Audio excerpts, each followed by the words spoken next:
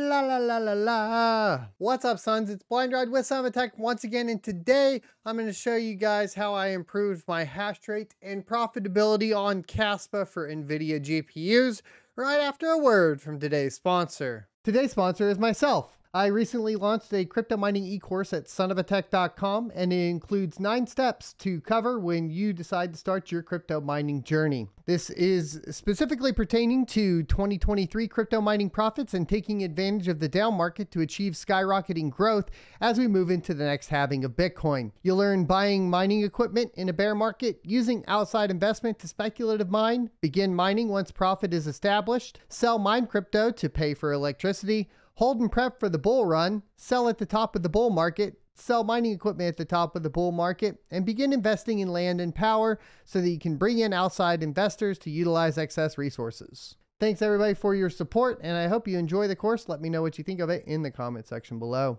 Welcome back. So, as you guys know, most of my how-tos on mining Kaspa have included utilizing BZ Miner, primarily because it was the only miner that allowed me to mine directly to my node without a stratum. However, on my node, I have added a stratum from One More B Smith on GitHub, which I'll leave a link to down below.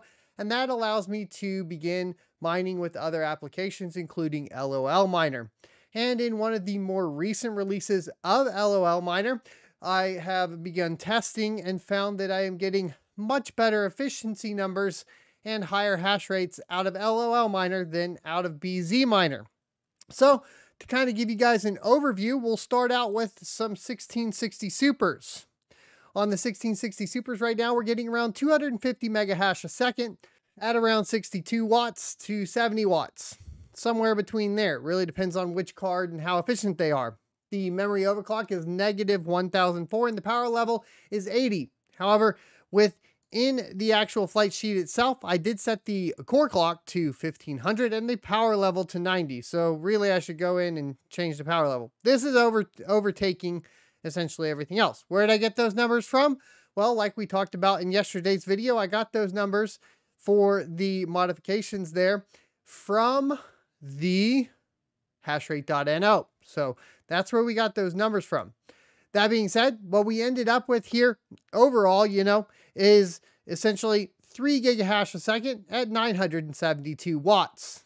And that in comparison to what we were getting before, which was 194 to 100 and, or to 200 megahash a second at around 50 to 60 watts, where we were sitting total rig 2.3 gigahash a second at 800 and 28 watts. Alrighty, so there you go. 1660 Supers, we are getting more hash rate, but what's really impressive is the RTX 3070 rig. On the RTX 3070 rig, we are now doing 461 megahash a second at 62 watts. The flight sheet that we're utilizing for overclock sets the core offset plus 300, the core clock to a locked 1305, and the memory clock to 810 with a power level at 150. That results in the entire rig doing 5.534 gigahash a second at 934 watts. If we go ahead and calculate that out with a 0% pool fee, because we're running our own node, then we are at 0.6 or 64 cents a day on that rig. If we compare that to what it was getting before, which is around 408 megahash a second per card at 60 watts, using 880 watts for a total of 4.9 gigahash a second, it's not as good. We can calculate that out here. And you'll see here we're earning about 20% more, or 20 cents more, excuse me, than we were utilizing before.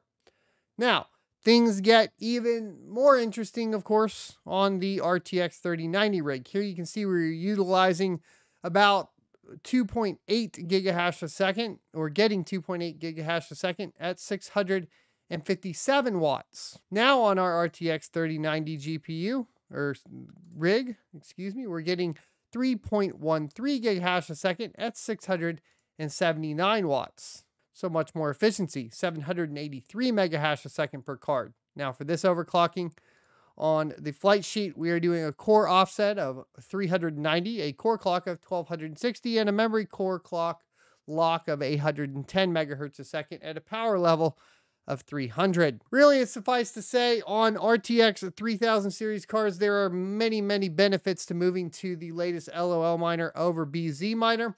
If you want to learn to set up your own node, please check out my node guide and full solo mining guide for Kaspa, which we also have a written version of on my Substack. We also do additional content like this over on sonofatech.locals, and don't forget to check out sonofatech.com.